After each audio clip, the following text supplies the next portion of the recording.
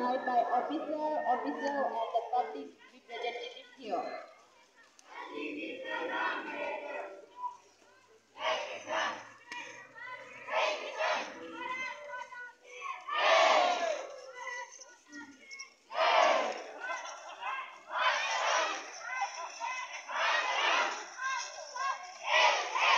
Good morning to everyone.